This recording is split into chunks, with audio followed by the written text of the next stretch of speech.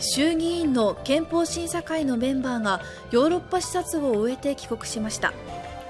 来月4日から始まる臨時国会で憲法改正の議論が進むかが焦点になります